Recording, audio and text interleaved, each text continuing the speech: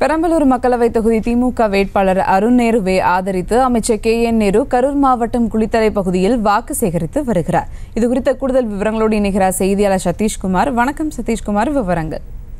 வணக்கம் சுபா. குளித்தலை ஒன்றிய பகுதியில் பெரம்பலூர் திமுக வேட்பாளர் அருள்நேரை ஆதரித்து அமைச்சர் நேரு தேர்தல் பிரச்சாரம் மேற்கொண்டு வருகிறார் அப்போது பேசிய அவர் தற்போது எதிர்க்கட்சியைச் சேர்ந்தவர்கள் முத்திரையர் மற்றும் மாற்ற சமூகத்தினரை புறக்கணித்து வருவதாக தவறான தகவலை பரப்பி வருவதாகவும் தாங்கள் அதுபோல் யாரையும் புறக்கணிப்பதில்லை. அனைவரும் சேர்ந்து நலத்தி நலத்திட்டங்களை உடனிருந்து உழைப்பவர்களுக்கு நல்லதொரு அங்கீகாரத்தில் பெற்றுத் தந்திருப்பதாகவும் திமுக ஆட்சி காலத்தில் தன் அனைத்து சமூகத்திற்கும் உரிய சமூக நீதினை அளித்து வருவதாகவும் முன்னாள் அமைச்சர் செந்து பாலாஜி கரூர் மாவட்டத்திற்கு வேண்டிய பல பல திட்டங்களை பெற்று தந்துள்ளதாகவும் குளித்தலை சட்டமன்ற பொதுமக்களின் கோரிக்கைகளை நிறைவேற்றி தருவதாகவும் கூறினார். மேலும் ஒன்றிய பாஜக அரசு சமூக நீதிக்கு எதிராக செயல்பட்டு வருவதாகவும் ஒன்றிய பாஜக அரசை தமிழ்நாட்டிற்கு எந்த ஒரு நலத்திட்டங்களை அறிவிப்பதை தாமதப்படுத்தி வருவதாகவும் திமுக தேர்தலை திமுக தேர்தல் அறிக்கை பின்பற்றி இந்திய கூட்டணி சேர்ந்த காங்கிரஸ் தேர்தல் வாக்குறுதி அளித்ததாகவும் கூறி வருகின்றனர்.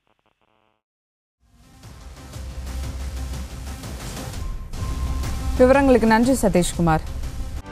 செய்திகளை உடனுக்குடனும் துல்லியமாகவும் தெரிந்து கொள்ள சப்ஸ்கிரைப் பண்ணுங்க.